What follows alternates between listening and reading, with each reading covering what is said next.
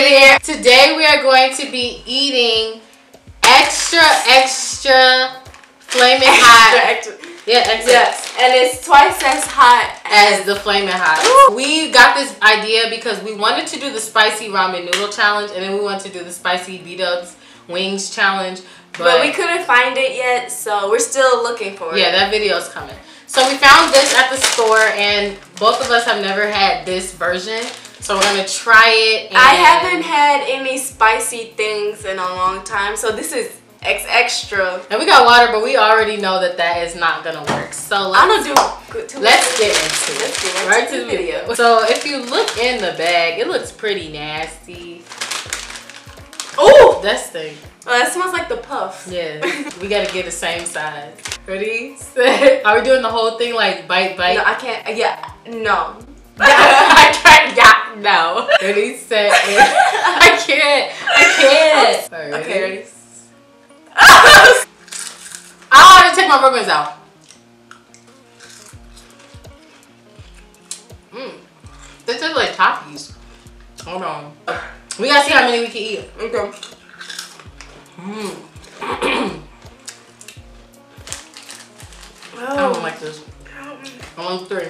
Oh, I got two. Oh, then, okay. Ooh. I'm at four.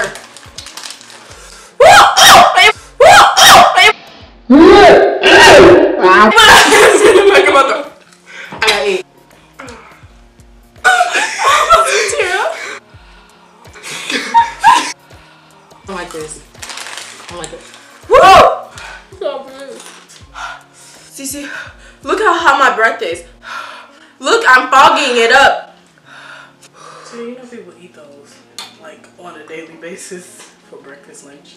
Oh. They shouldn't. Now we gotta look our fingers. Cece, I barely got water left, guys. We gotta lick our fingers. Ready to go? Well, that's nasty.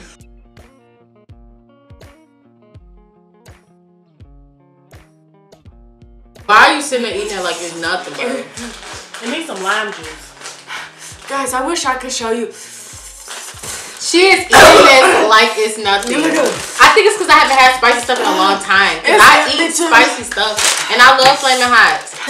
I can't. Yeah, but this is. Thank you guys for watching the video. Give you it a enjoyed it, give it a thumbs up if you up. like this. Subscribe, Cece, and comment more video Cece, I'm getting chills. ideas. I'm getting chills. We'll see you guys in next week's video. Bye. Thank you guys for watching.